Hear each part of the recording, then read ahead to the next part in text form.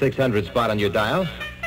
WICC, Bridgeport, Connecticut. I'm Bud Finch, and I'll be back right after Andy Carano's news. Next, over the sound of New Haven, WELI. Ladies and gentlemen, this is Bob Steele of WTIC Hartford, speaking to you from the Army's Bradley Field in central Connecticut, where 25 or 30 big four-engine bombers have arrived in the past hour or so. More are coming in all the time. The latest news from the WTHT Hartford Times newsroom. Town Hartford, we bring you Hartford Speaks, transcribed. I'm Bob Maurer. Here's Una King. Well, you bright little spring boy, you, you're anticipating it a little bit, aren't you? That's number 83, everybody, at WTIC, and our Dickie Robinson Countdown Show. As we check out the top 100 records for 1967. The Ken Griffin Show. WPOP. From high atop Radio Mountain at 95.7, this is WBMI Hartford, Meriden. My name is Dan Bloom. Connecticut Radio Memories, a series chronicling the first six decades of Connecticut's radio stations, as told by the people behind the microphones and behind the scenes. Episode 6, Pop Goes Your Radio, the story of Hartford's first top 40 station. WPOP was born in July 1956, when WGTH Radio was sold and the call letters were changed. One of WPOP's first program directors, Del Raycee, remembers. It was owned by uh, General Tire and uh, RKO Unique. They sold Channel 18. They owned Channel 18 and WGTH. And uh, what happened there was telebroadcasters bought or WGTH for 225000 I don't remember what CBS paid for Channel 18. So half of the crew stayed with uh, Channel 18 and uh, half of us stayed with uh, GTH. And call letters were changed to WPOP and we moved over to the Shelburne apartment building on the Salem Street Hill. Bobby Scott. Del Raycee was our program director. It was more fun than you could possibly think of. It wasn't long. Uh, I did the morning show, and it wasn't long after that. Uh, I became program director and was allowed the opportunity to introduce the format called a Top 40 Radio. Pop Radio WPOP. The early WPOP was uh, inspired, at least from a programming sense, by Ken Cooper. Richard Ward Fatherly. Ken Cooper was a consultant and helped to put the WPOP, then early days top 40 sound together. Hey, little darling, oh, oh, oh, you are oh, little darling, oh, oh, oh, oh, oh, well, Well, WPOP was a top 40 station. Doug Wardwell. Uh, probably the first top 40 station in Hartford, long before WDRC. Bobby Scott. In those days, and for quite a number of years, people I think in the Hartford area recall that Bob Steele pretty much owned the morning ratings on WTIC. And WPOP and WDRC really were competing for the ratings for the rest of the day and into the evening. And uh, it got its name as Top 40 from looking at uh, Variety and Billboard magazine sales, and uh, disc jockeys in those days were much freer to do their own programming. Uh, it was not uh, coming from satellite, it was all done at the studio. And so uh, we had uh, the Top 40 list which was what was selling in the area from Billboard magazine. That's how we got those listings. And then we also made our own history by playing uh, songs that we felt the disc jockeys felt were uh, up and coming. And so uh, between the two, we had our picks, and then we got the rest from Billboard magazine. And uh, that's the way that went. Top 40 uh, in Hartford was extremely popular. WPOP Pop uh, 1410 on the dial was the station to listen to. We had a wonderful lineup of personalities uh, at WPOP. I hired Don Blair. I got an offer from Del Raycee at WPOP in Hartford. Don Blair. Just at a time when that radio station was taking off big time in top 40 rock and roll. They really started to hit it big in the mid to late 50s, and I joined that staff in 1958. And by then, I had moved up almost to $100 a week. Can you imagine? In those days, POP was the hot number in town, soon to be joined head-on by WDRC. And that went on for quite a few years through the rock and roll era. So we played the Billboard Top 30. And if Doris Day happened to have a hit, you played that right after the Four Seasons. No problem. No, no hassle. People expected it of you. Jack Broitman, air name Jack Brooks. Don Blair was big in the afternoon. Fred Swanson. Don, he used to go on around 6 or 7 o'clock. I think it was the Connecticut Ballroom they call that. Richard Ward Fatherly. Don Blair was the host of Hits afternoon popular music countdown called Connecticut Ballroom. And it was Don Blair's Connecticut Ballroom. And Bob Scott nicknamed me the Teddy Bear. So I also, I always called myself, you know, Don Blair the Teddy Bear. In order to establish the hits in Hartford, No reason. we had pulled the record stores for the top tunes of, the, of that week, but I found out that the, these guys were hyping particular records, if I may use that expression. And so we started our own survey. Uh, we brought in a rotary system with some telephones and had some uh, high school girls come in. And during the Don Blair show, the Connecticut Ballroom would, would conduct this survey. We'd play the tunes, and the listeners would vote on them. That's how we established the hits for the week. And then we had other talents on POP like Ray Summers, who called himself the Tune Tycoon. Charming guy. Howie Burlingame was our morning man.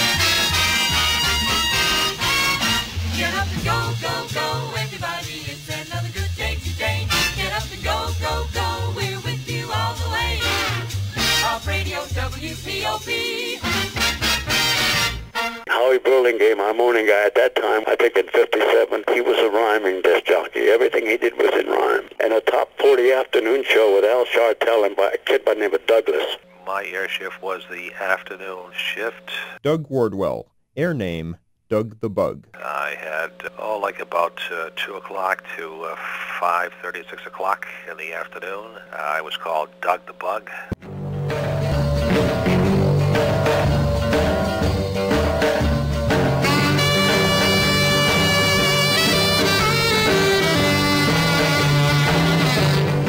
Buggy Doug, baby.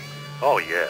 And uh, I used that, Monica. And then uh, in the evening, I used uh, Cool Ghoul, the Cool Ghoul in the evening. Some people kept their own personalities and they didn't change. Uh, other people had personalities. In those days, I was a personality person on WPOP. If you contrast that with WTIC in Hartford, they all sounded the same, like they came out of the same cereal box.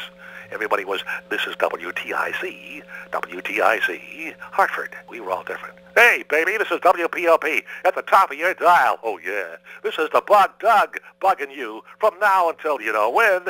And then the cool ghoul takes over, baby. I'm in the driver's seat. And right now, here's Bo Diddley. Listen to him, will you?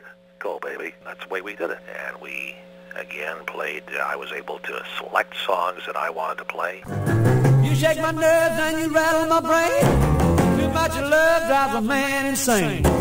You broke my will, but what a thrill. Goodness gracious, great balls of fire. In those days, the DJs received 45 uh, records from all the major distributors. We went over those after the top 40 was selected, and we played the top 40 from 1 to 40, and then start all over again after the picks. And then I was able to select from whatever came in, and I auditioned and listened to for the particular songs that I thought were going to be up and going. So that's what I did. Here's a record that's gonna be big. Gonna be big across the nation. Here's the inside information, the pick of the week. The word payola comes up. Did it exist? Yes, it exists, but payola exists everywhere today. Payola exists in the corporate world, exists in the business world. But the disc jockeys were especially singled out for taking pay for uh, featuring certain records.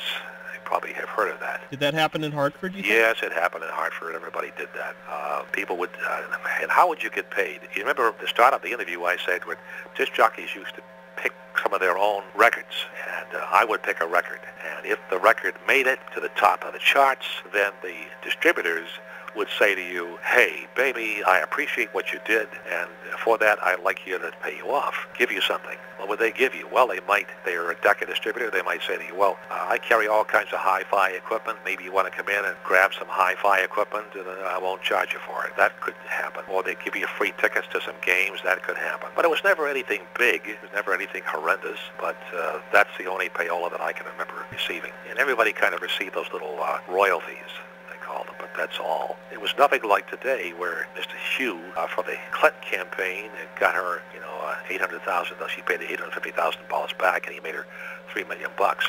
I mean, if that isn't payola, I don't know what is.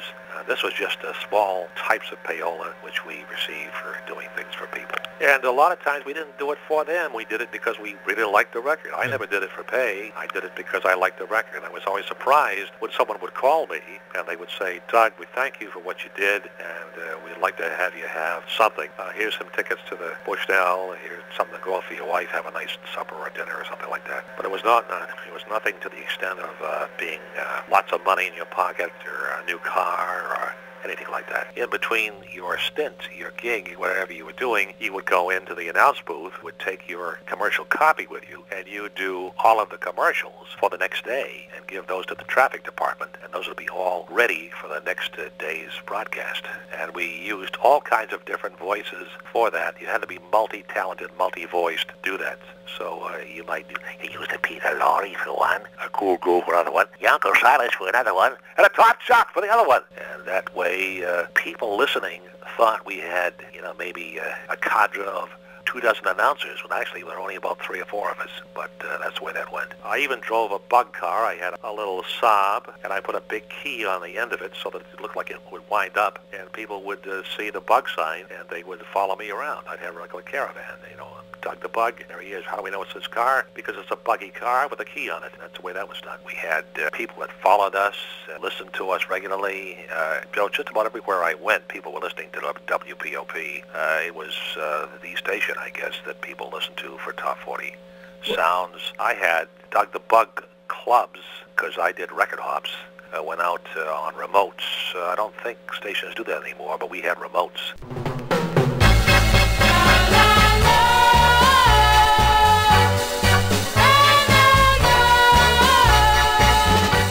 Record hops. Don Blair. You know, everybody did one or two record hops a week. It, it probably equaled or, or surpassed our, our wages at the radio station. Many of us did uh, what they call record hops. Bobby Scott. Or shows. We did a number of shows over at the Bushnell and uh, had a wonderful array of entertainers to come in. I know that, you know, off the top, uh, Connie Francis and Johnny Mathis. And one of the highlights was an opportunity for me to interview Tony Bennett and to spend some time with Tony, who's just a, a class act and a, and a wonderful person. I went to Crystal Lake Ballroom in, in uh, Rockville. And, uh, there we had the Battle of the Bands. We had guest appearances by the guest artists, uh, whoever they were on the air. They would come in and make guest appearances. Live broadcast, no recordings, all live from Crystal Lake. And so we had wonderful opportunity to meet many of these great artists and also bring them to Hartford and to Hartford Radio. So it was, in fact, really a, a wonderful era. It truly was. We even had, you know, people who would carry us around on their shoulders. It was like hero worship in those days. We don't have that anymore, I guess. People just listen in and that's it. Wipe out. I remember one remote we did, uh, which got a lot of attention. Uh, one of my guys locked me in the trunk of a Buick, and uh, the whole concept was get Doug the Bug out of the back of the trunk before he suffocates. So people were honking their horns going by. People stopped to see if they could uh, get us out of there. And uh, of course, I was still getting some air, but I had to be released at some point, and that was the whole gist of the program to get me released from the back of that trunk. Inside the trunk, I had the mic right inside the trunk, and I was doing the broadcast in there, and I had headphones, so I could hear the engineer say, "Hey, here he is. He's back again. Is he still alive? But I don't have much air left, and if you don't get me out of here fast, I'm going to die. So stop by, ask for the key, haggle with a guy, buy a car, do whatever you have to do, but get me the hell out of here." And that's the way that went. In the evening, we had Bobby Scott, Don Blair. who was a tremendous hit with the girls because he was young and single and good-looking. And uh, Bobby, uh, they, we would call him Booby Scoot instead of Bobby Scott. Bob Goldberg. Air name, Bobby Scott. I graduated from Emerson College in Boston and uh, had returned. I uh, am Boston, I'm Hartford, uh, born and raised, and came back to the city uh, during the summer looking for employment and uh, had auditioned at some radio stations. In 1959 was, in my opinion, really a very magical time for Hartford radio. And it was about that time that WPOP had been a uh, mutual news radio station, which was purchased by a fellow out of Kansas City, Missouri by the name of Scott Kilgore. This guy, Scott Kilgore, who owned the most influential top 40 station uh, in the country in Kansas City. And Scott wanted to change the format of the radio station, and so I was hired as a uh, part-time announcer for WPOP, but had always uh, hoped to be a uh, full-time employee and uh, disc jockey on the radio station. Bobby, thanks to a couple of wise cracking, gum-chewing radio station executives pulled one of the greatest stunts in Connecticut radio history. He was doing weekend radio. Bobby Scott was a weekend uh, part-time announcer. Del Raycee. And uh, I guess, you know, top 40 people did, did crazy things. We had a lot of promotions that went from time to time. And Scott Kilgore, he sent a guy, oh, Ken Cooper. He sent this guy, this promotional genius, Ken Cooper, came to POP, and he looked at Bob Scott and he said, guess what? You're going to become the unhappy weekend kid who locks himself in the studio, demanding a full-time job, and sits in the studio and plays the same stupid song over and over again. And we thought during the Children's Marching Song, or during that era in 1959, that we would have Bobby lock himself in the studio on that weekend and play nothing but the Children's Marching Song by Mitch Miller. They gave him several boxes of the Children's Marching Song. We had developed a uh, publicity stunt in which I locked myself in the studio and played the same song, which was Mitch Miller's Children's Marching Song, for 12 straight hours. How did that song go? Do you remember?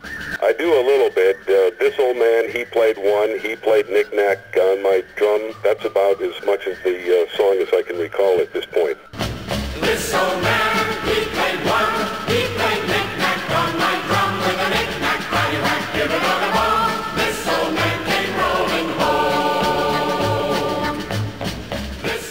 he would not stop or wouldn't come out of the studio or unlock the studio until management agreed to give him a full-time job. The radio station at that time was located at uh, 600 Asylum Street, which was an apartment complex. And uh, so at noontime, which is when I started on a Sunday afternoon, I started to play the song. Never made any, um, never recognized the song on the air. I just continued to play the song and, and talk and do some commercials. It was about an hour and a half into the broadcast that afternoon that the uh, superintendent of the Shelbourne Apartments came down to the front of the window, the studio window, and told me that he had received a telephone call from one of the tenants indicating that the disc jockey had died. The uh, song was just continuing to play.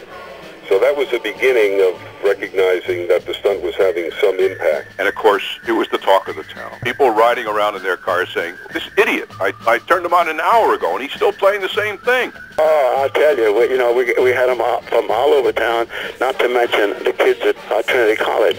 Later on in the afternoon, Trinity College students turned their radios on to the station and turned them towards the quad and turn the volume all the way up so the quad was filled with uh, the children's marching song. And people were calling the police, get somebody down there. Later on in the early evening, about 300 students marched down from Trinity College campus to the radio station on Asylum Street, which then brought a significant number of police. I believe that it was somewhere around 20 policemen came also to the studio and the students tried breaking into the studio door which fortunately they were not able to do and a couple of policemen directed me to stop playing the song and to play something else Well, the Hartford Courant sent a photographer down, took a picture of Bobby sitting behind the microphone with a cigarette dangling from his mouth. They knew darn well it was a scam, but they ran it anyway. so ultimately all of that was reported uh, on the next day of the uh, front page of the Hartford Courant It was the talk of the of the water coolers. The, are you Yeah. kidding? That made that station overnight. It put WPOP on the map. So we found a slot for Bobby from 7 to 9 p.m., Monday through Friday, the Bobby Scott Show. and it gave me an opportunity to have a full-time position with WPOP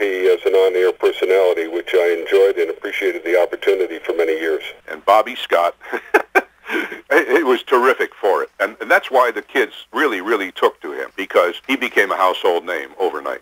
And he could get two or three record hops a week when sometimes I was just hoping for one because the girls were, the kids were just crazy about him. And all the uh, record distributors made darn sure that when a, when a record artist came through, like a Freddie Cannon or a Johnny Tillotson or a Bobby Rydell or a Brenda Lee, if there was only one record hop they could get to, it was Bobby's.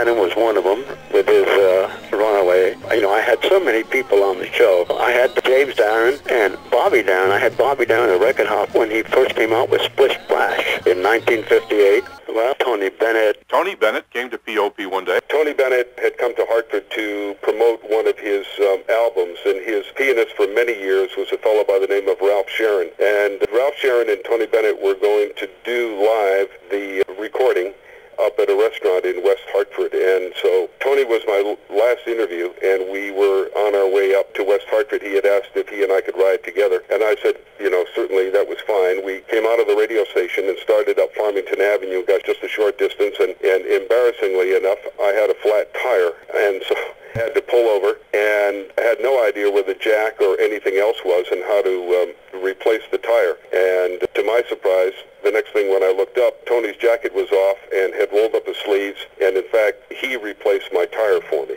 Uh, Gene Pitney. Another guy that we befriended big time at POP because he lived locally, Gene Pitney. He lived up in, uh, in uh, Crystal Lake. He and the redhead, we called her, his wife. And Gene Pitney taught me how to water ski on Crystal Lake. That's how good a friend he was. Johnny Tillotson. Oh, Johnny Tillotson was a real favorite at POP. Came in many times, and Cadence Records was so cheap they wouldn't even give the kid money for the ho- for hotels. And we put him up at friends' houses in West Hartford. Yeah, save the kid some money. But mm, first he would, he'd do as many record hops as you asked him to. It was terrific. But you had some very talented morning people, Don Blair. controversial in their day, not like Mr. Stern or any of the people that are crossing the line big time these days, but kind of naughty. They pushed the envelope. Dick Brown. One time when Dick Brown, our then morning man, mentioned a woman's bra straps on the air, somebody called the police. And Hartford police actually came to the radio station. You have a man here who was talking about a bra on the air? I mean, it was ridiculous. You didn't say hell or damn. It wasn't done. But they just ran circles around all the proprieties of the time. And the other guy we had that was famous for quite a while was Doc Downey. Wonderful WPOP. We had in the morning Jack Brooks. Morton Downey Jr., Sean Morton Downey Jr. Doc Downey was what he was called. Morton Downey Jr. His dad had been a famous Irish tenor during the 30s on radio and owned half of Coca-Cola. Morton Downey Jr. is famously from Connecticut. Joey Reynolds. Father was a famous Irish tenor who was a number one star in the country at one time. And years and years ago, if you want to remember what he sang, it was Carolina Moon, Keep Shining. His father raised the kids, three kids in Connecticut. And they went to school with the Kennedys. And Doc Downey, because his initials were MD, Morton Downey, spent most of his life in Connecticut. And Doc was a rebel son. The father practically disowned Doc. And Doc was very controversial, had a very controversial talk show on TV for years, probably back in the 70s. He later went on to uh, become a big TV personality. Was married to Lee Remick for a while. And he was a morning man at POP. WPOP. 1410. He was pretty down, probably in his lowest ebb as a broadcaster when he got hired at WPOP as the morning man. And one morning, as a matter of fact, when Paul came in to do the news shift, he found Downey on the floor, his chair tipped over, flat on his back, out cold. Whether he had knocked himself out or had a seizure of some sort. But by the time I arrived, they had called the ambulance and they were dragging Doc Downey out to the hospital. And Paul had to take over not only the news shift, but his DJ shift as well. And one day some local merchant called because he was running out on some big bills on haberdashery, clothing, suits, shoes, everything else, and no, you know, sending no money. And I gave these people at the store uh, kind of a line on how to get in touch with him or how, where to find him. And I came in one morning, and Doc Downey, his face was beet red, livid. He was screaming mad at Don Blair, and he was taking my attaché case and dumping its contents not not they were that that important all over the studio because I had ratted on him. And then I saw him years later when I was with NBC in New York and we were doing the relighting of the Statue of Liberty. This is 1980, was it 81, 82. And across the fence I look and there's Morton Downey, Doc Downey. And I went over to say hi and he extended his hand like we'd never had a you know a difference of opinion. And a couple of years later he started doing TV spots because he'd been diagnosed with inoperable, incurable lung cancer Right. because he was a heavy smoker. And he would appear on TV regularly looking at you and saying, don't be a jerk like I was. Give up the darn cigarettes. This is Pop Radio WPOP. Thanks for tuning In the old days when we were battling DRC, if you want to call it that, uh, it was us in, in that late period of, of the 1950s. And we had a lot of fun doing it. Del Raycee. Jack Brooks I hired as our news director along with Paul Smith. He was uh, Saul Stockman. I tried him as, an, as a morning man, but he had trouble getting up, so we, we moved him over into the news department. He wound up as the morning newsman at WINS in New York. Now, this was 1960, Jack Broitman.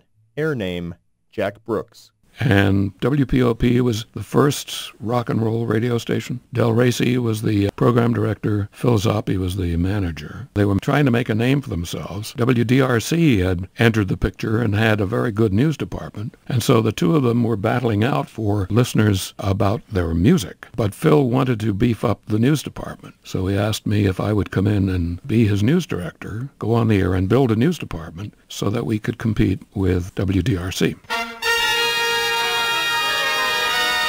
WPOP Top News First. And it was at WPOP on November 22nd, 1963, that I was on the air with Lou Terri and got the first bulletins from Dallas on the assassination of President Kennedy. The uh, United Press International uh, ticker tape, it would ring five bells for a bulletin. It would ring ten bells if there was something really important coming on. And so sometime about one o'clock in the afternoon, the bells started to go off on the machine. And I would run to the to the ticker tape because it was otherwise a very quiet day. And the ticker tape would stop. Nothing would come out. Then it would start to go again, and it would be egg prices from Chicago. And so I would go away and say, well, you know, what, what are those 10 bells about? Then the 10 bells would ring again. So I'd run back, and it would stop, and it would hiccup a few times, and then it would come back on with hog prices from Chicago. And finally, a one-liner comes through, garbled, but it comes through with a sentence that I could make out, but because it was so garbled, I was really afraid to put it on the air. It was Dallas, the president has been shot, possibly fatally, period, finished. And then go back to egg prices again. What is a newsman in Hartford supposed to do about this? I thought, well, I guess I really should get on the air with it. I heard all the bells. It must be serious. It's got to be true. I'll get on the air with it. So I told Lou Terri, give me a mic. We had a news booth, and I went on with a bulletin. But we didn't get anything for the next five minutes. And that was the hardest part of that day. Uh, eventually, it all began to, Yeah. to flow. But that first 10 minutes after that bulletin, and waiting for that bulletin, were probably the most trying times that I could possibly have lived through as a newsman. These were the voices of the people on the streets of Hartford. Some sad, some distressed, some faltering, but all honest words. It was a terrible thing. That's about all. I don't know too much about it as yet. Well, it's not very good for the country. I can't say anything. I'm heartbroken. Well, I think it was a terrible thing. And, uh, of course, a lot of people don't believe in a lot of the things that he did, but with something like this, is it's very disastrous. Well, I, it's a dreadful shock, not only to me, but I think to everyone who was um, in Fox's when I heard the news. And uh, I, I feel that uh, it's going to be very, very hard uh, for us to carry on without him. I think we've lost great direction. I just think it's a terrible thing, that's all. Well, I think it's terrible. I mean, um, it, it makes us makes me feel as though um, you know, the world's running by itself. It was awful that you know someone from the United States shot their own president. I don't think anyone could take his place because without Ke- uh, Kennedy, the world isn't any place. I mean, he was a great leader, and uh, he tried to help the world as much as he can. And at this time, it's, it's a great loss because now we really need him. WPOP First Person News. On January 15th, 1964 at 7.45 p.m., this is news editor Michael Lawless with the 40th edition of WPOP First Person News. It's 25 degrees under cloudy skies in Hartford. Page one headline story, Republican Senator Thurston B. Morton of Kentucky in Hartford tonight to address the new Republican Victory Dinner has come up with a possible solution to the succession problem. He told a news conference that if a president should die in office, the new president, the former vice president, would then nominate a person for his old post. Broadcasting as a community service of the University of Hartford, this is WWUH West Hartford, WAPJ Torrington, WDJW Somers, and WWEB Wallingford. And now back to Connecticut Radio Memories. Jack Brooks. We had Joey Reynolds at night. That was a big thing. Rusty Potz. Joey Reynolds right in the beginning of the top 40 days, and and Joey was just sensational. Joey Reynolds is a fine guy, and I think one of the most unique talents. Don Blair. He could be very funny without being gross, and that's a lesson that a few other people we could mention should learn. You don't have to fill the air with vulgarity in order to make people laugh. At least you don't have to do that for me. so uh, I, I, I really think the guy is, is, is a fine, fine talent. Joey was brought in to boost the ratings, and, and he was the wild man. for of Hartford for a while. Morton Downey Jr. got me to come to Hartford. Joey Reynolds. My story with him is that we worked together in Syracuse. And while we were in Syracuse, I was on in the afternoon, he was on in the morning. We were disc jockeys. We took a liking to each other. We even became roommates. He's a great guy and a very, very interesting guy. He got fired in Syracuse. Uh, what he did was he made fun of the nuns and the priests. In those days, it was scandalous. I mean, nobody did that. He said that he was going to get his mother superior, one of the principals of the school, a watch for Christmas, but he wasn't going to give her the whole watch because he was going to give her the works on New Year's. Or some outrageously sexual comment about nuns. He got fired for it. Yeah. Both of us were always losing jobs anyway. I've had about 38 of them. But, but at that point, I just began my career in crime of being fired as an outrageous disc jockey, for which we both fought for that title, I think, at one time. Maybe he saw himself in me. He was older. So he uh, got fired in Syracuse, and they gave me both of the shows, the morning and the afternoon. I got a call from him from Hartford, and he said, come on along. I have a great job for us. I'm programming WPOP in Hartford, and you will be on the air, and you'll be a big star, and it's a great station, et cetera, et cetera. Now, uh, so, so Donnie called me from Hartford, said he was programming WPOP. Well, he was somewhat of a liar. So when he went to Hartford, he called me, and I came to Hartford, and he was not program director, and I was staying over there at the Y on Asylum, and uh, he was full of crap. There was no job. And Downey came into this whole configuration not telling the truth. And then I found out that everything he did was an exaggeration because he was he had a, a vivid imagination. So uh, once when I confronted him, I says, you know, you're lying. And he says, no, no, no, I'm not lying. I just say things and then I make them happen. So I thought, oh, here we go. Anyhow, that was the Downey piece. I got on the air in Hartford. And having been lied to that I had a job, I was only sitting in, but I didn't know that because he had structured it with the manager. And I was sitting in until the new guy came up from somewhere in Florida. When I found that out, I just went bonkers on the air, and I told the audience, and I had fun with it, and I started to screw around more and more and more. And The audience bonded with me, and we became one, and the station took off like a rocket, as they say. And I stayed on the air doing doing that for a long time. And they didn't put the other guy when he came up from Florida. They did not put him on the air. They put me on. Now, don't forget, when I first started on the air in Hartford, nobody was talking like a regular person. They were doing this puke thing. Hey, everybody, it's WPOP, you know, WDRC, everybody, Dick Robinson here. You know, they were not talking. They were doing this routine. They were another person essentially. You know, they were over the intros of records. Hey, everybody, here's Gene Pitney. You know, that thing. It was a sing-song thing. It wasn't a direct communication thing like I'm talking to you now. And I, uh, so I, when I was in, in Syracuse, I discovered the idea of doing that because I simply didn't want to do the other thing. They had an echo chamber, and I used to turn it off. I hated it because it was too fake. And the the echo chamber was to give an ambiance, to give a real important sound, and the jingles. And I used to make fun of all that crap. That's how I that's how I got the audience's attention because I started to defy the the systems that were routine. They were routine. And so when I got to Hartford, I had developed more of that. And when they told me that I wasn't going to finish the radio show, that somebody was coming in to do it, I just went crazy on the air. I said, well, screw these guys. You're not going to throw me off the air because some guy's coming up from Florida. You know, I, I just set it on the air. And I played the records I wanted to play and did what I wanted to do. WPOP is a place where I started to get a cult audience very much like, if you recall, Howard Stern did in the uh, early days of NBC, and very much like Donnie when he first went on Channel 9 in New York with his television talk show. So we all had this in our genes. That's what I'm bringing you to. But it started in Connecticut, and even Howard came to work in Hartford, you know, years later. I mean, it's a very interesting, fertile soil. Connecticut had a great uh, deal of intellect.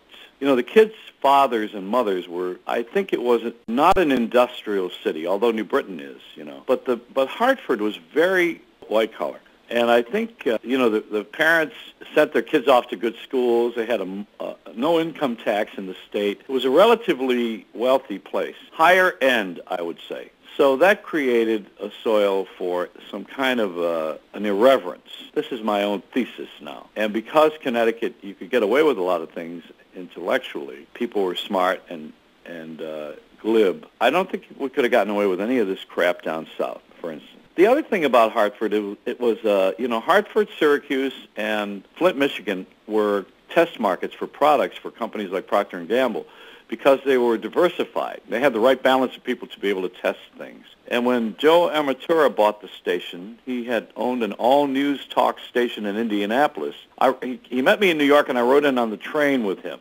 from New York. I went to New York. I met him in New York and came in on the train to Hartford. And he told me I was 19. He said, you're too young to be a program director. Although I was highly successful. You know, the station was zooming. It was even beating DRC at the time. Mm-hmm. So I, um, I was very popular. And Armature was in he didn't understand popularity. He understood uh, business. And this is the beginning of that particular thing, is where, see, where radio and records were married, now we see business is going to marry radio. Do you see? I mean, it always was a business, but it wasn't the primary interest. Then the people started to come in who saw it profitably, and they changed the laws of radio very, very slowly. And now you know where one person owns 1,500 stations. I mean, this all, this all started back then. So you had a guy like Joey Matura who knew Zippo, and I don't not like him, incidentally. This is not not liking him. Plus, he's Italian, and I'm Italian. I like him on a lot for a lot of reasons, but I thought he was in with me. I thought he was stupid. He never got to be where I had that station when I was there. Never, never. They never made that. They made a, a reasonable amount of audience and money, but he never got the prominence that I had. I was actually beating DRC. So that's the keynote of that one. And,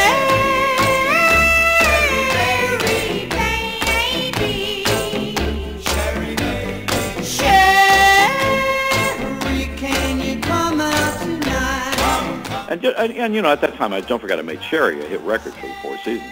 I played it for four hours, and uh, uh, I got outrageously uh, got fired. You know, played the same record over and over again. From- yeah, I was oh. POP when I did that. It's on the back of the album of uh, the Sherry album. You know, it's documented. When I left there, because he hired older guys to run it, and I was a younger, I was a kid. Can you imagine? It's the reverse of what's happening now. Uh, so you know, God has a great sense of humor. WPOP, Ken Griffin. Bill Bland. Ken Griffin did nights. When I was working at WBRY, Ken Griffin. there was a guy named Hermie Dressel who was a promotion man for Mercury Records who actually was the drummer for the Woody Herman band, and he gave up that and became a promotion man for Mercury Records. Back in those days, they had promotion men. They used to go around the radio stations and have people play their records. So he came to me one day and said, you know, you're funny on the radio. I said, well, that's okay. I think I can probably get you a better job. So he did. Actually, he called up a guy named Zach Land at WHYN in Springfield, Massachusetts, and I was I was making $55 a week in Waterbury, and I ended up making $155 a week in Springfield, and I did that for three years. And then they called me at WPOP in Hartford and said, "We want to hire you, and we'll pay you $250 a week." I said, "Holy Christ!" So that this was we're talking back in the '60s, early '60s now, if that. So that's when I went to Hartford again. The Ken Griffin Show, which in turn is a subdivision of Kaiser Aluminum. Hmm. This is Pop in Hartford, a subdivision of the world's greatest station itself. The happy home. Toto. Take the same instrumental track and let's put new lyrics to it and have a hit all over again. Walking through the jungle just the other day. Gene Simmons, baby. Minding my business, going my way. He grinned and We weren't disc jockeys. Any could be a disc jockey. You could hire a monkey to teach him how to spin records. We were air personalities. Back in those days, you got hired because you were funny and you had a lot of fun on the radio. Anybody could play records. We played records, but that wasn't the name of the game. Personalities were celebrities, like Don Imus was and is, or, and Joey Reynolds, and so many more. We're air personalities. We got hired to be funny. We didn't get hired to play records. Any jerk could play records. Bob Paiva. Ken had uh, a couple of imaginary characters, Fats and Rocky. Uh, Fats Funtoon and her husband Rocky. Oh, oh, mm. Day of the Americans, mm, 28 minutes now before 10 o'clock. I got a letter for you from Rock. I mean, I got a like, letter for Rock from uh, a kid named Jerry. You want to read it? No, you read it. I can't wait to bust. All right. Rock. Yeah, that's me. That's how it starts. Yeah, it says Rock. Man, the reason I'm writing to you is because I know you'll read it. Dad, your boss, and man, well, like, how could you make the hitch to the Fats? Oh, man, like all us, way out here on the other side of the tubes, are letting you down. You're the great one, Rock. We now wait. Yamaha's forever. Yamaha. I'm for that. I'm for that Yamaha. I'm for that Yamaha. Signed Gerald Granatosh. Gerald Granatosh. Yamaha, I'm for that Gerald Granatosh. Fast Fontoon in Rocky Hill. I can't do the Fast Fontoon voice. She was the Fast Fontoon Weather Balloon, and I used to do a high voice. And then, of course, she married Rocky Hill. As the, hey, hey, I'm Rocky Hill. I'm Fast Fontoon. Well, that that was it. Of course, it was higher then, but. Oh, gee, it's late. I'm getting so old. Watching my baby back home. I'm a back. What are you two doing? Wait a minute, I'm singing. I'm going to be a... You've heard of, um, what's her name, Sophie Tucker? Yeah. Well, I'm going to be her. I'm going to just... She has to just kick off sooner or later, you know, get out of showbiz, so I'm going to take over because I'm young, you know. He could do these voices, and he could do them so quickly that it actually sounded like there were two or three people in the studio. I mean, he would just bing, bing, bing, bing, bing. Gee, I'm going to sing one of them old, one of them old church songs, right? Yeah, get the torch. No, I mean, um, what's an old song like? Yes, we have now banana. Shoot up, shoot up. They were so realistic that I can actually remember one evening at WPOP when a woman showed up and she had baked a cake for Fats's birthday. And she showed up to deliver this cake to Fats, who's of course an imaginary character. But the audience didn't know that Fats was imaginary. Del Raycee, Let's see, Lou Terri. Jack Brooks, Lou Terri was uh, mid mid morning, mid afternoon. Lou Terri, Don Blair, whose real name was Lou Gualtieri. Lou Terri lived in East Hartford. Bill Bland, A fellow with a, a goatee who was a good friend of Gene Pitney's. Go now, Moody Blues. We're on the go on the Love of Blue Terry show. Sir, uh, until 3, we're getting about to close to 27 this side of 3. At 3 o'clock, of course, Georgia will continue with the countdown of the top 100 uh, golden hits of 1965. And at 7 tonight, Gary Gerard will count down the brand new survey and also the top 40 from one year ago. radio historian Ed Brouder. Lou Terri worked in the late 50s at DRC as the all-night guy. A lot of people forget that. He left there to go to WPOP and had daytime exposure as the midday host roughly from 9 in the morning till 2 in the afternoon for about five or six years. Lou had a long run at POP. Lou was a known quantity in the marketplace. Let's go! Lou Terri. He's in! He was not the strong personality, um, the individual personality like a Joey Reynolds or a Ken Griffin, but he certainly had the stability part, and he was perfect for the midday uh, housewife's companion, which was so popular as a concept in the 1960s. He later went over to WRCH. Lou died tragically in a car crash on Hartford highways back in the 80s, and Lou was over there when he when he died in in the car crash. Dan Clayton, Midday was a guy by the name of Bill Bland. WPOP, Bill Bland. Rusty Potz, The mid-morning was Bill Bland, who also called himself Captain William Bland Jr. And so in 1966, Easter, Bill Bland, 1966, I made the drive from the Pacific Northwest to Connecticut to join WPOP. Sam Holman brought me to do mid-mornings, 9 till noon. Ladies and gentlemen, you're listening to the William Bland Jr. Show at the much more music leader, WPOP, Hartford. It was uh, typical mid-morning. Uh, that, era, it was referred to as housewife show. Prior to Woody Roberts coming in, I was a real generic jock. I mean, you know, one of just tons across the country. Nothing unusual or uh, about me. That's all right. It's one of the features of the show. If you want to sing along, go right ahead. 22 minutes till 9. WPOP Springtime with Bill Bland. One of the greatest from last year. The Lovin' Spoonful. Do you believe in magic? It went like this. When Woody came in, I remember him using the word emote, which means, you know, to ham it up. And I thought, well, what the heck, why not? And so I started to ham it up. And the hits keep right on coming. WPOP, Hartford. 1130 in the Insurance City.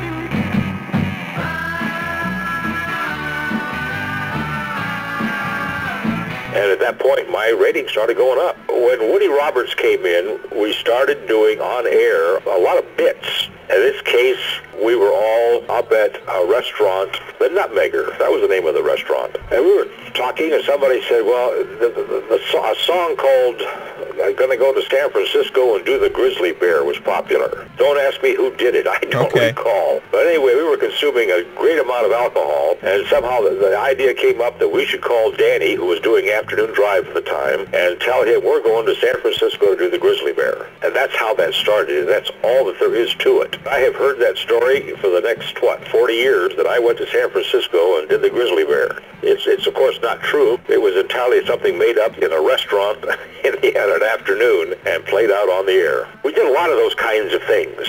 There was just an awful lot of theater of the mind stuff going on. And we were pretty good at it. I, I did a pirate radio station. I got a rowboat, and I got a, one of those old Mo- Motorola two-way radios, FM radios. They were popular in the, in the 60s. The news uh, departments used them often. And I got one of those, and I went out at Wethersfield Cove and set up a pirate radio station.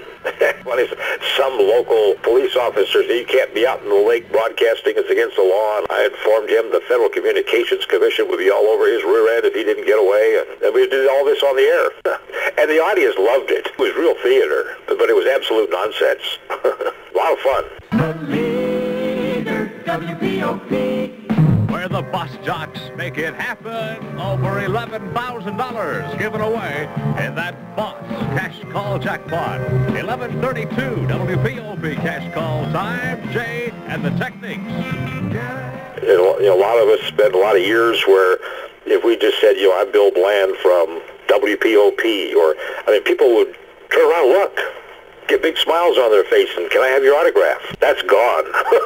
that doesn't exist any longer. But it was sure fun when it was going on. I bumped into a Connecticut disc jockey named Ken Griffin one day. Bob Paiva. And he told me that there was a job open at WPOP as the assistant promotions manager. And I went over there and got that job, and that's how I got started in radio at WPOP. I was there from 64 to 73. WPOP used to produce rock and roll concerts. That was my first job at POP, was to bring concerts. And I used to bring a concert a month to the Bushnell, the, the Gene Pitney packages and so on. I think it was 64. I think I got the year right.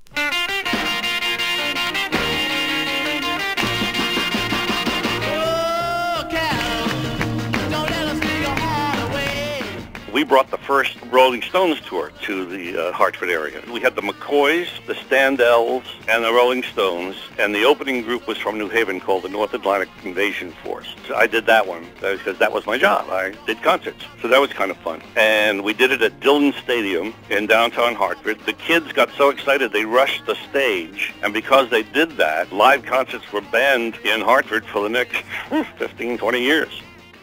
Well, it was very exciting. Bob Paiva. At that time, because it was a highly competitive period in Connecticut radio. We competed for advertisers, and in order to get advertisers, we had to compete for audience. And we had a, a signal problem as compared to our direct competitor, WDRC. We couldn't reach a number of the areas that DRC had dominant signal in. And so we had to do a lot of promotions and uh, a lot of gimmickry to try to attract audience. Rusty Potz.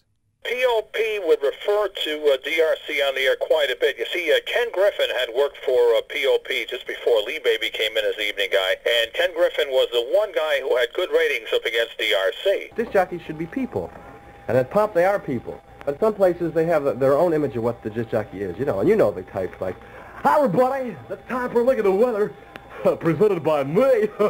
it's 12 minutes before 10, and I'll give you the temperature right now. It's 62 degrees in downtown Hartford, and it's such a good to be with you tonight on a, on a Wednesday night from the big song of Connecticut radio, where it all begins, W, whatever it is. Uh, where's the station am I working at this week? XYZ, right? Oh, well. Oh, incidentally, congratulations to Joel Spivak who goes to KLEC and uh, Hollywood. Hi, everybody. God, I do love playing a record or two. I love you, honey.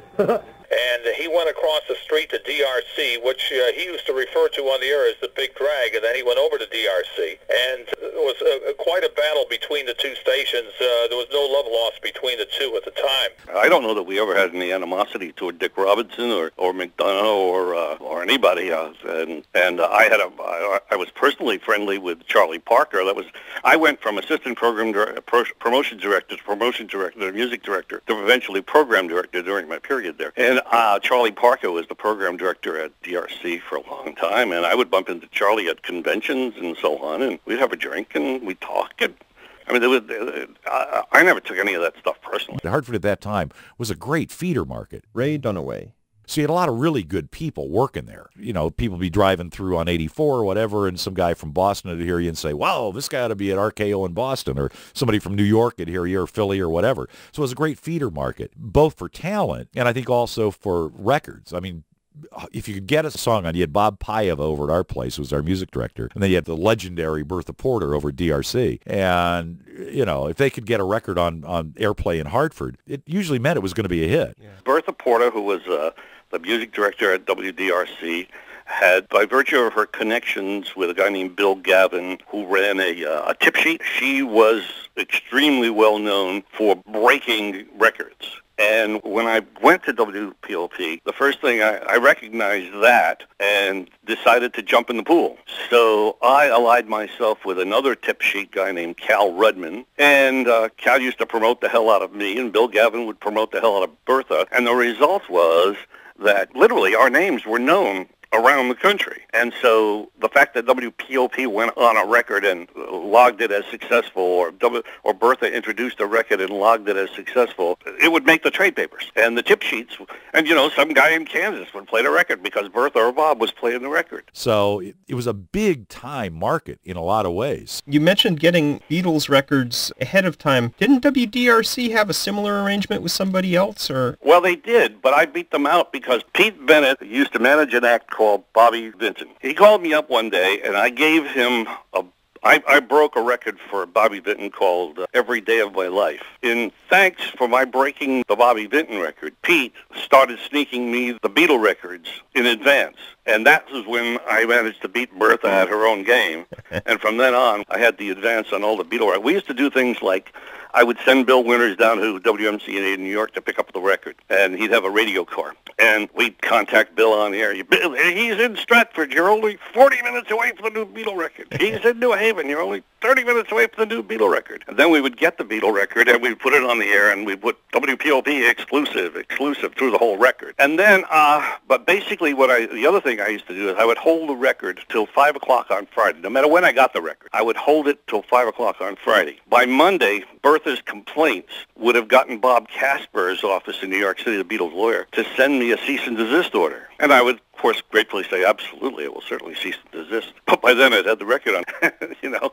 And it was a game we played. You know, Casper knew damn well I had the record. He knew damn well I was going to play it because WMCA had the record. WMCA had it. They knew I had it. I remember a record called uh, Je t'aime mon pleur. It's a French record with Jane Birkin and Serge Gainsbourg. It was released on Mercury Records. And I'm told that the lyric was actually quite dirty. But it was in French, so who knew? It was a beautiful melody line, and she was just, Je t'aime, je t'aime.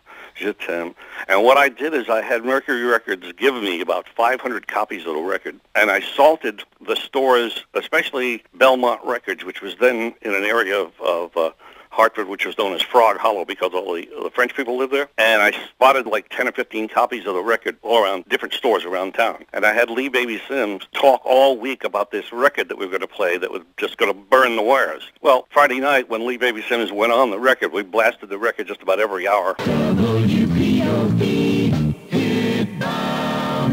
Birkin and Serge Gainsbourg. Je t'aime, ma no plus. Oh, yeah. Je t'aime, little moan groan. Woo, stop it, I love it, music. By Saturday morning, people were clamoring for the record. The store had sold out of records. And, I mean, it was all over the wires. I mean, t'aime had broken in Hartford.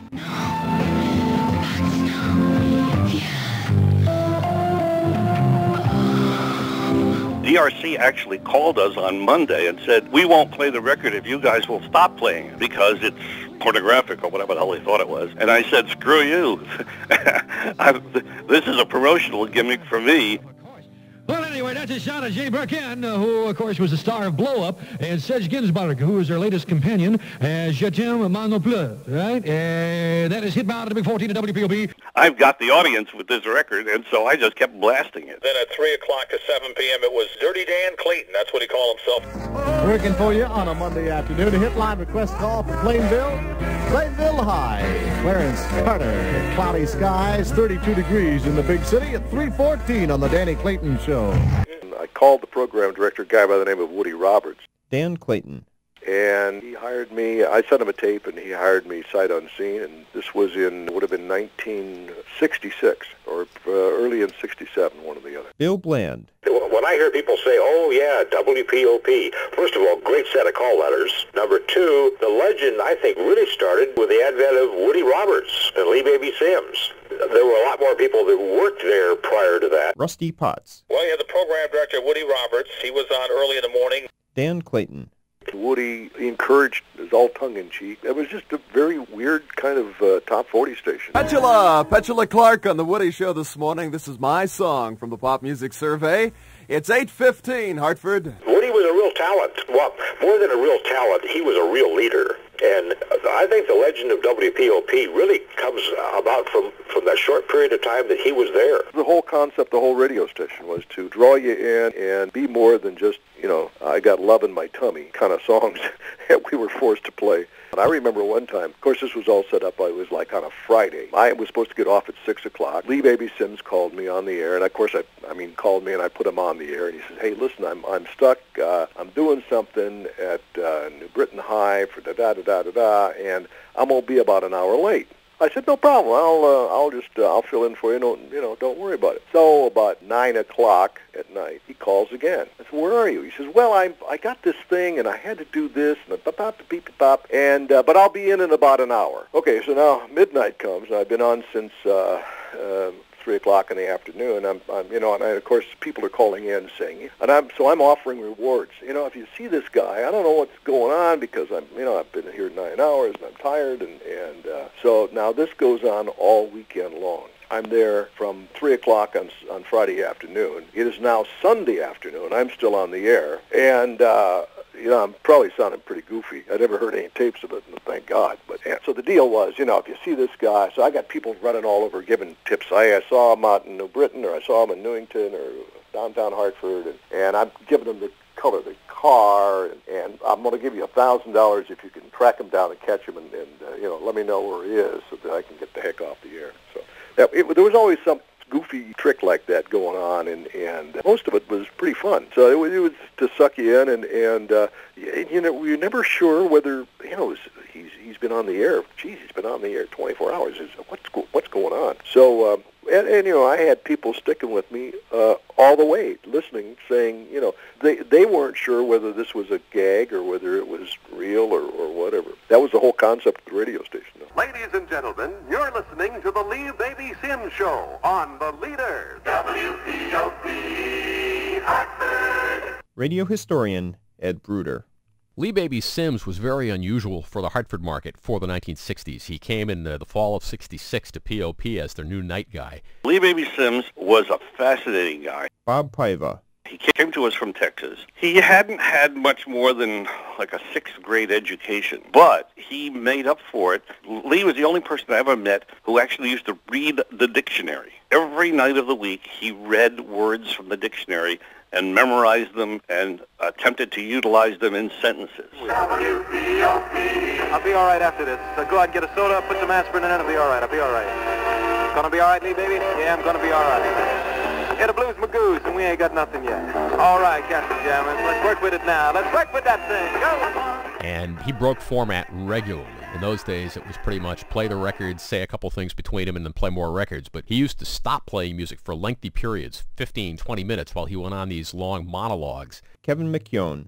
And I can remember in the you know winter, I guess, of 66, 67, being transfixed by his storytelling and sitting in my car freezing to death, having reached my destination, but not being able to turn him off. And it wasn't that they were comic monologues like Joey Reynolds would have delivered, but Lee Baby was a storyteller, and he would dream up the most bizarre stories and work himself in as a character. The cry arose, Who, what man among men will volunteer to carry food to these people?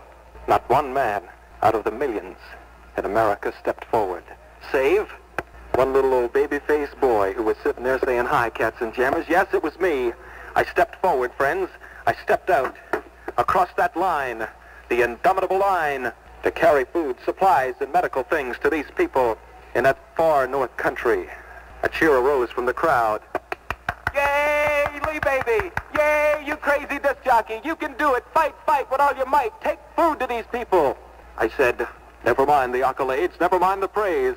Just give me a sled, a team of good huskies, and I'll mush onward. I'll take the food to these cats and jammers up there in this far north land, up there in this village that's dying, freezing to death under hundreds of tons of snow, I said. He would do bits, for instance. One day he, he said to the kids that he had gotten bitten by a snake, and he spent four hours on the air dying. Between every record, he was, oh, what was me? What was me? And he was dying. And the next day he came in, he, his story was that the signal of WPOP not only went east, west, north, and south, but it went up. It went north. It went up. And a stewardess flying into Bradley had heard his cries for help and had rushed down from Bradley when her plane landed and given him respiration and saved his life, and that's how come he was there. One bit he did is he went on the air one day and he said that Woody Roberts, the morning man, had died. And he spent the whole show, whole four or five hours, doing a eulogy to Woody. Of course, next morning, Woody was on the air, and it was a planned bit. And Woody supposedly knew nothing about the eulogies. So the phones were going crazy with people calling Woody in the morning. And then Lee spent the following night angry as hell because Woody didn't have the decency to die. I mean, he's wasted a perfectly good eulogy, you know, and the guy didn't die. And it was a whole departure from everybody else on Hartford Radio at that time, including his own colleagues at POP. Rusty Potz.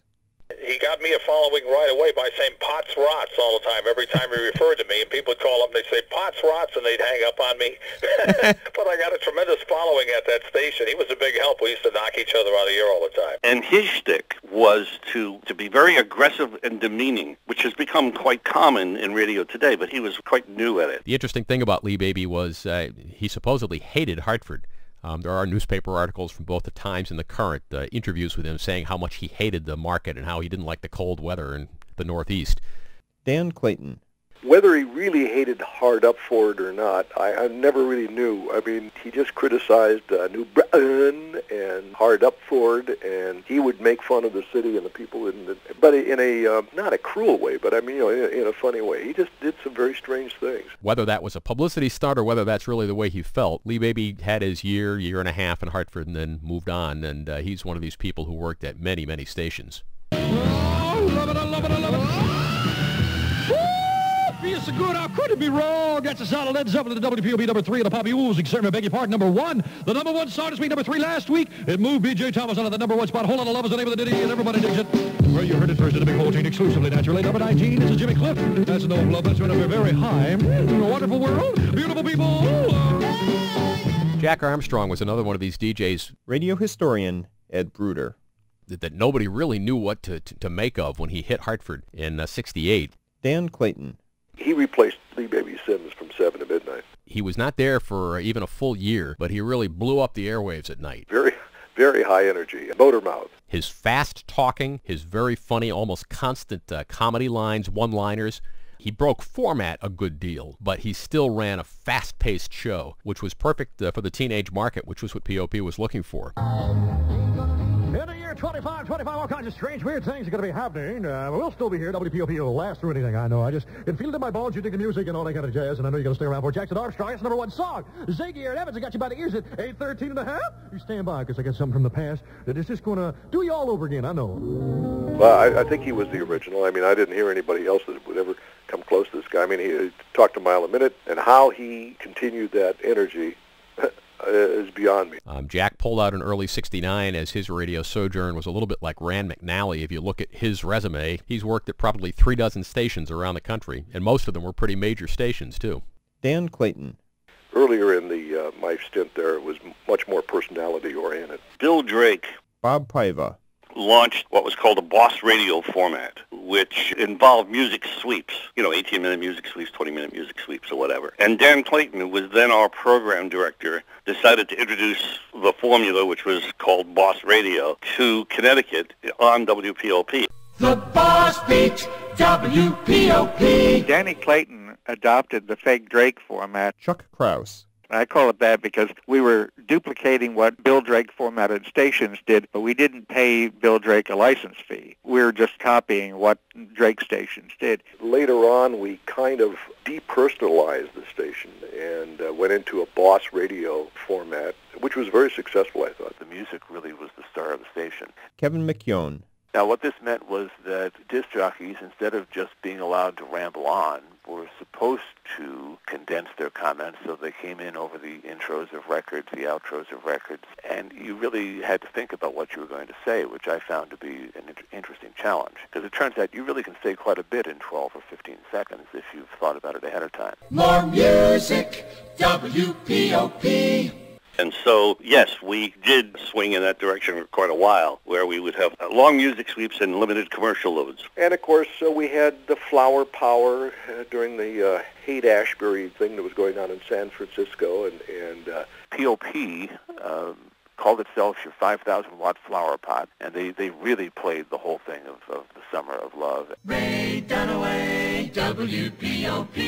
Came here to Trinity and got a job on the campus station, and then uh, about a year after I was there, ended up at uh, WPOP. Some guy was in town for the bridal fair, and POP was promoting, and he happened to hear me one Saturday or whatever. See, so you never know. If you're doing college radio, you never know who might be listening to you. And this guy called up and he said, "Oh, you Danny Clayton know you're in town?" I said, "Well, no, I don't think so." And he said, "Well, I'm going to have him call you." I think at that time they thought, "Well, you know, this will help us," because at that time it was kind of like, well, TIC where I am now would have 60 shares, and then it was POP and uh, DRC basically fighting it out for the younger audience. Danny, I think, was thinking, we'll get a college kid to do the night show. Yeah, and that'll bring hipness to the show. And, you know, so I, I think that's where that came from. So I went out there. They were down on uh, Cedar Street, 175 out in Newington. That time they were down in the swamp, and it was uh, where the towers are now, just off El Grasso, off uh, Route 9. So anyway, I ended up out there doing nights for a while, about uh, a year. 69, 70, yeah, in there. Bill Love and uh, Lou Morton were doing mornings. Lou was the news guy, but they kind of worked as a team. Well, two midday guys. We had uh, Tom Jones, who was the music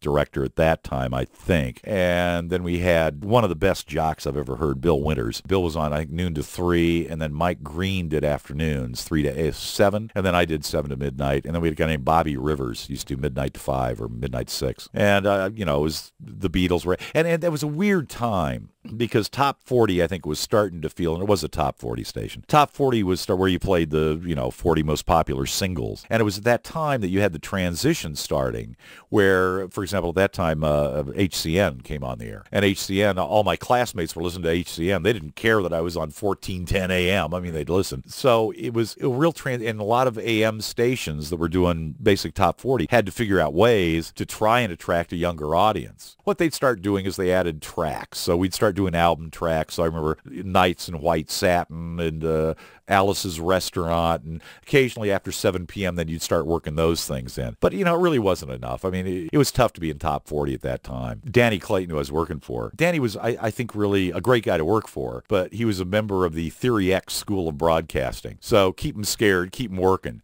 So he had this huge light bulb above our head, and it was like a 250 watt bulb, and it was right to our left, and you're sitting there looking out on, on Cedar Street at that time. And what would happen is when he wanted to call you, he had the hotline, the private Line. Whammo, he'd hit that thing. And I mean, you could hear the guys panic on the air. You knew when he was calling. So we somehow managed to get a hold of the number. We used to sit out there in our cars. You know, there was a phone booth up at the Blue Danube or something like that, which was a place where we used to hang out. And you'd sit there and you'd call and you could hear the guy just, you know, you see the flash come out of the light, lighting up Cedar Street. And then you'd see, you know, then you'd hear the guy, you know, it was fun. I mean, there, it was, I could tell you, I, I, I mean, I could tell you, oh, some, some POP stories were just horrid. You know, we, just, oh God, it's such a great story, but I don't know what my what my limits are here. It, it doesn't reflect badly on me necessarily. It's Yeah. just it, it's kind of how how it was in this. It may be totally politically incorrect these days, but the, this was a guy's business at that time. You know, you had women working in the office. You know, hey, it's the way it was, guys, in the late '60s, '70s. You know, woman on the air. What the heck is that? You know, it was Martha Jean, the Queen in Detroit. She was the only woman I knew of on the air. And I do remember we used to do these things, the boss jock basketball games. We used to go out and we'd play high school faculties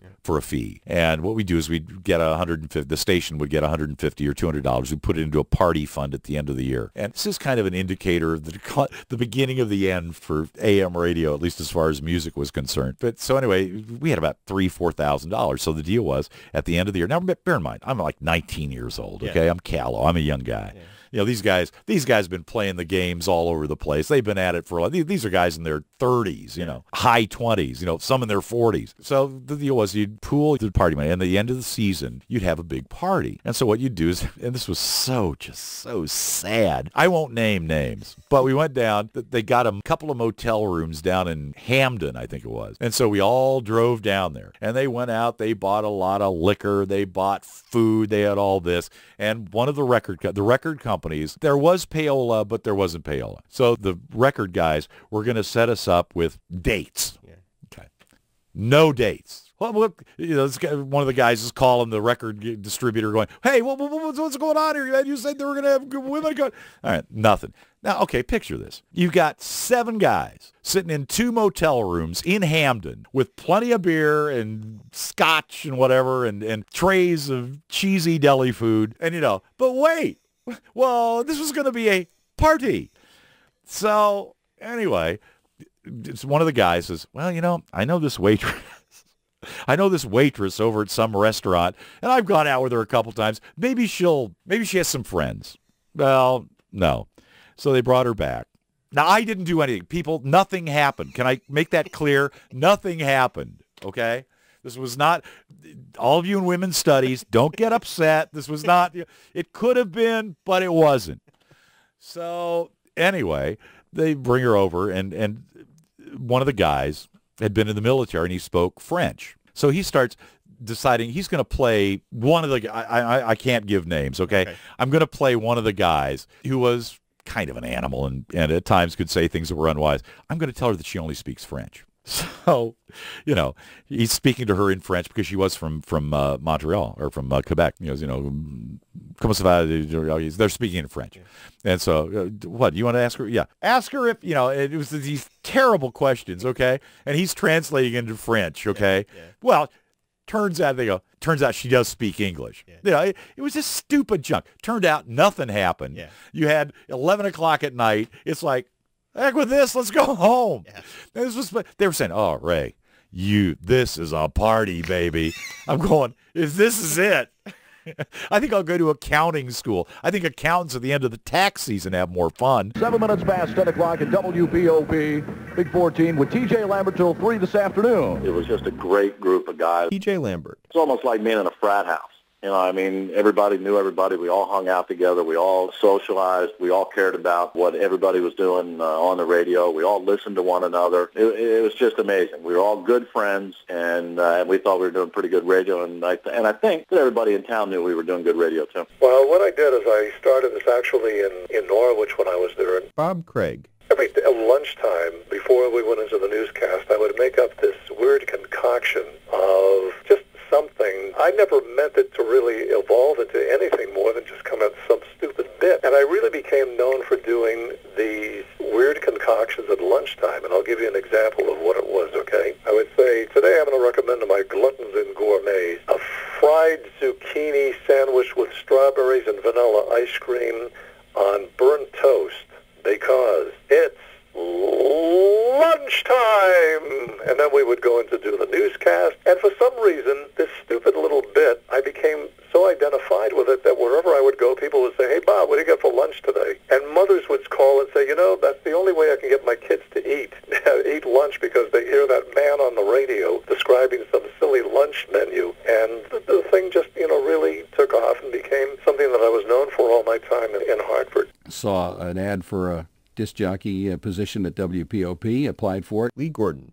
The program director hired me and two other guys at roughly the same time. So uh, he was kind of overhauling the whole station. WPOP. How are you? This is Lee Gordon giving you the best music from Sly to Family Stone. Thank you. It was as much fun as I've ever had working in radio. It was, uh, all the guys were, were great guys. We all got along. In every workplace, there's always guys that, you know, that everybody likes, and usually there are jerks. But in, in our case, everybody on the air staff got along with everybody else. I could probably tell you a few things without exactly naming any names. One of my associates on the air was doing his show, and we had a little speakerphone in the studio, and the fans would call up and once in a while a female uh, listener would call up and uh, sound intriguing, and, and so the uh, gentleman on the air might uh, be making some sort of arrangement to actually meet these people in person. We did have some people who would show up at the station, and one or two of them were kind of legendary for their, shall we say, uh, their uh, level of devotion. And in one case, a new jock had just moved to town. I, I can still remember he had, he had this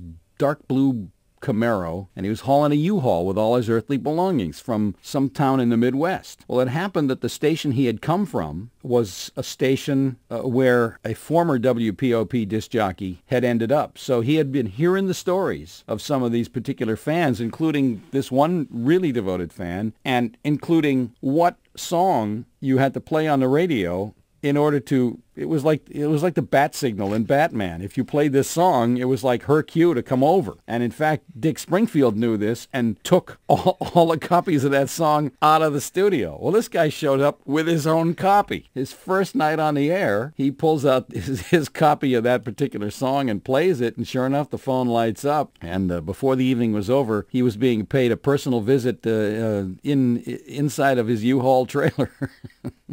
WPOP, that's Tyrone Davis from 1969. And turn back them hands of time here on the Greaseman Show. It's 10 minutes after 7 o'clock, and the, the sun is sneaking its little way over the horizon now. If you just got up, you should throw open the sash and look out the window, because it's purty. All the little squirrels are waking up. All the little bunny rabbits are drying their little eyes. All the little birdies are starting to tweet. Uh, it's a delightful morning, and I'm making myself sick here with all this syrupy warmth I'm oozing out for you. But it's my job, and I'll syrup away as long as the check is here every week. Greaseman, I, I don't know if you remember him at all or, or any of the stories about him, Dude Walker. but he, he was a very mysterious character when he was at WPOP. Grease was Grease. Neal Steele. He was an experience. He was a trip. The Grease Man portrayed the role of a guy who had been through the rigors through life. Bob Craig. He portrayed himself as a guy probably in his 70s who lived in a flop house and drove to work every morning with a tr- on a tractor. Almost makes me want to fall in love again. Smell that sweet perfume of warmth and joy, huh? Uh-huh. Find me a filly? Yeah, maybe I will. Maybe I just will. Take a walk on Asylum Street tonight about 3 in the morning, see what I come up with. Oh, look, it's 15 minutes past 7 o'clock here at WPOP with the Grease Man. Keeping them coming for you. His persona was taken from, I think, his grandfather. Ron Lake. Not that he was his grandfather was a shadowy character. He told me at one point that Lee Gordon. Yeah, parts of the character were sort of derived from his grandfather. I don't know. I, I cringe at the thought of family reunions because, well, my family, we used to get in such fights on holidays. Everybody'd be glad to see each other for the first five minutes on Easter or Christmas or Thanksgiving. And we'd all sit down to dinner and the bickering would start. My Uncle Leroy would take himself a heaping helping of mashed potatoes that'd choke a horse. And then somebody else would say, well, help yourself to some mashed potatoes, Leroy. Don't be bashful. But just the, the, the way he spoke and and, uh, and everything, uh, he just played the part of somebody that had passed through town, needed a job, and, and landed on the radio, and, and spent his days at, at the mornings at the radio station and the rest of the time at the flop house with the, with the gang. I once took a full hit in the face from a bowl of cranberry sauce. Splat! I just left it there, went to bed like that. That way, in the course of the night, if I woke up hungry, I wouldn't have too far to go for a snack.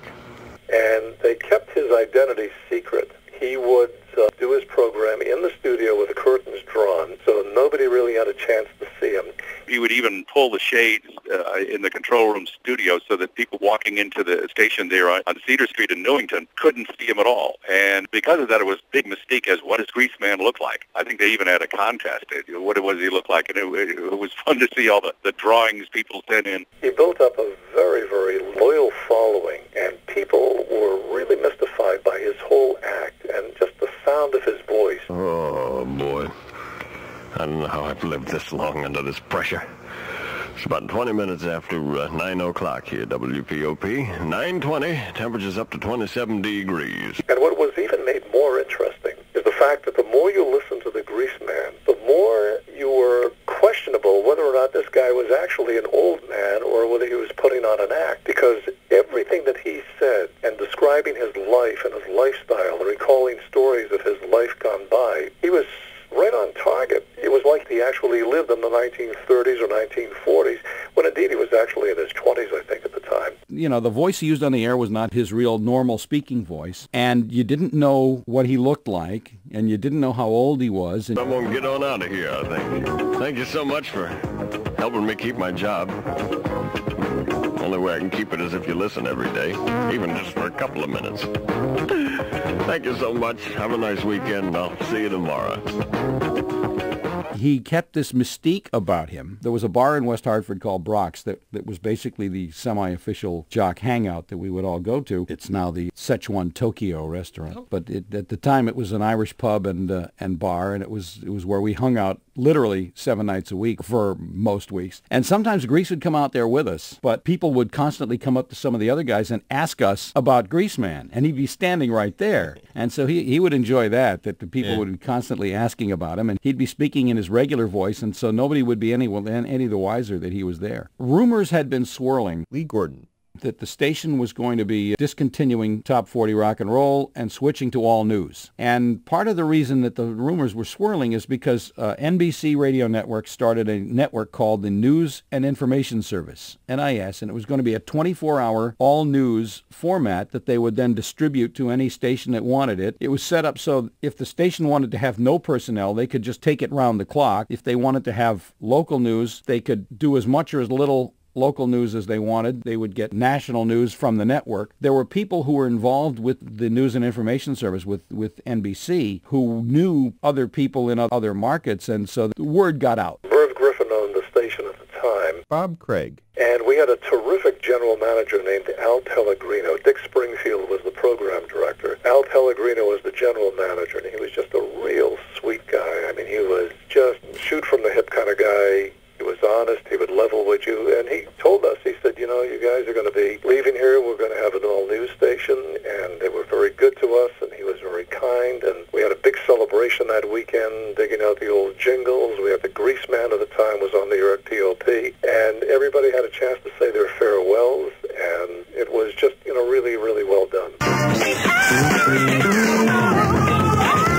Rufus, once you get started from WPOP. It's a few minutes after 3 o'clock on the final Bob Craig Show here at WPOP, the last live music radio program that the station will have.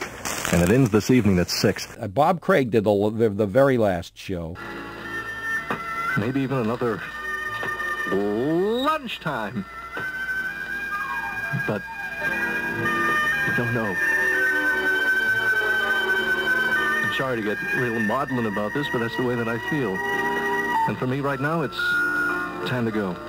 Good evening. And uh, Greaseman's last show was, was legendary. I'm going to leave with a little giggling, so here's my little uh, ode to Hartford. Thanks so much for, for everything. They came up with a special song, Greaseman song. Now the time has come for me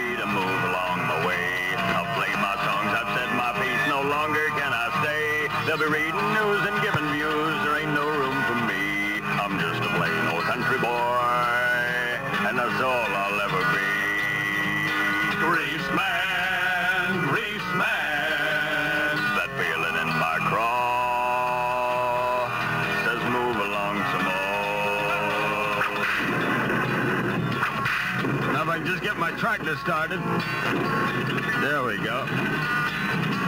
Uh. Oh, jeez. Grind me a pound. Uh, well, I'm ready to go. Get this old buggy rolling here. Come on, Bessie. Yeah!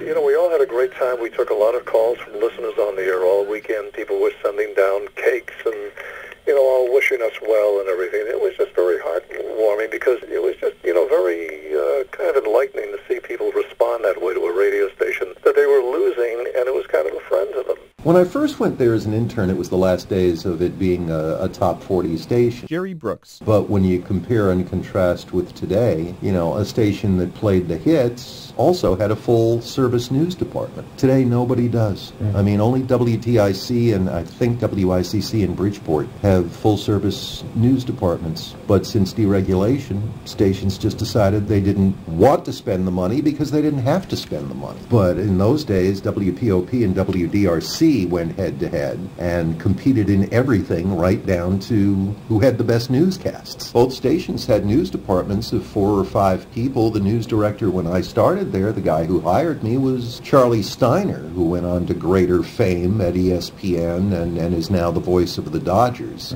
Having been the voice of uh, the Yankees, people like Joe Connolly worked at WDRC, and Walt Dibble, before he was at TIC, was at DRC, and you know it was WPOP Hotline News, and it was WDRC Ear Witness News, and you know it, there was a lot of competition.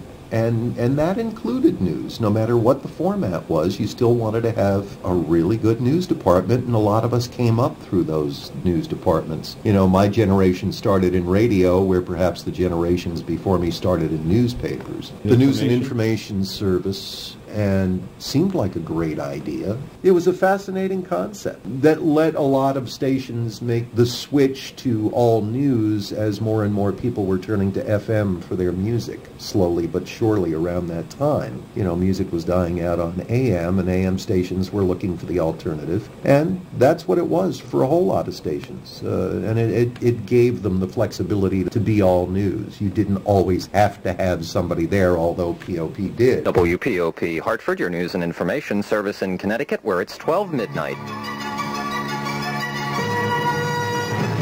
Good morning. This is a Tuesday morning, the fourth day of May, 1976. My name is John Berky, and the news at the top of the hour, Victoria Fyodorova Pouy, the love child of an American naval attaché and a Russian actress, has given birth to a baby boy in Greenwich, Connecticut. It really was a great idea, but it was also very cost intensive, which is what eventually caved it in. I started out doing midnight to 6 and would record the morning drive sports over the course of the evening. So, you know, I was sports director, but I was always on tape because I covered the overnight news shift. Working the overnight shift was interesting. You know, you had all the gamblers calling up, wanting to know the sports scores. So eventually, you know, and instead of, you know, taking phone calls from them all night, I just gave the scores over the air that I knew they'd want by just the margin of victory you know, UMass over UConn by three. I knew they didn't care about the score. They just wanted to know, you know, so that's full service. Good evening. I'm Gerry Brooks, and our top story at this hour, Vice Presidential candidate Jarvis Tyner was in Hartford today collecting signatures on a petition to get his party's ticket on the ballot in November in Connecticut.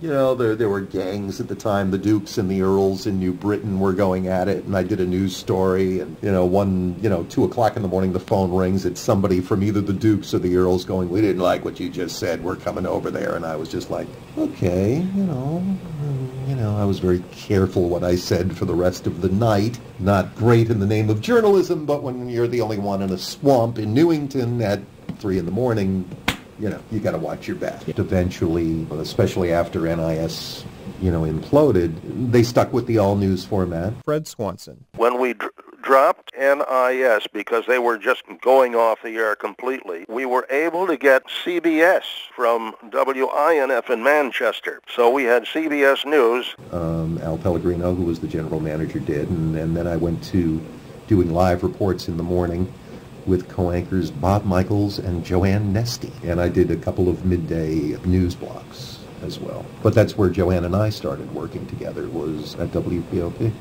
You know, when I look back, I just smile. You know, like I said, Joanne and I would have dinner and just reminisce a little bit about the radio days. And all it can do is make you smile. Steve O'Brien. We had a, a ton of fun there, and it was one of the most enjoyable radio jobs uh, that I've had over the years. TJ Lambert. No, I still think it was a magical time and a magical radio station, and we did a lot of really cool stuff. Bobby Scott. Today, uh, radio, yes, I do listen, but my heart really belongs to the old Hartford days and the old format, in which I just think, again, was a lot of fun. I think fun is what it's all about, but my heart really goes back to those early days. They were just wonderful, magical days. This program is dedicated to those who participated in interviews but who passed away before the program was finished. Richard Ward Fatherly. Joe Mulhall, air name Ken Griffin. Fred Swanson, Bill Bland, Jack Broitman, air name Jack Brooks.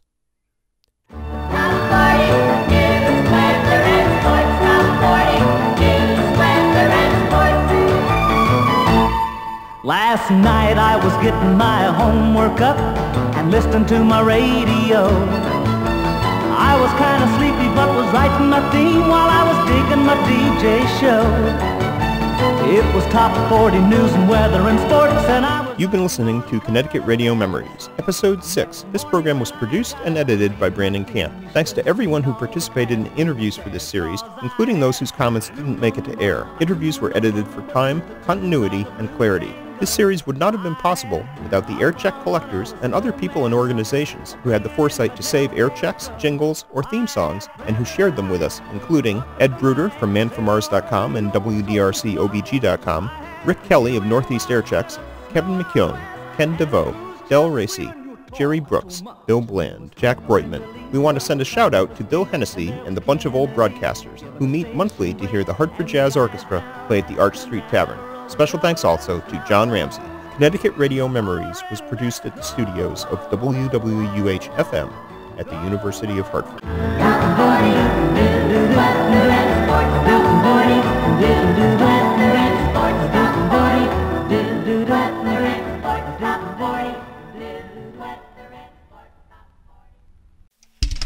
You're listening to WWUH West Hartford, a community service of the University of Hartford also broadcasting over WAPJ Torrington, WDJW Somers, and WWEB Wallingford. We also stream on, online at wwuh.org. If you go to the website and you hit the archive button, you'll be able to listen to any of the programs we've broadcast in the last two weeks when you want to listen to them.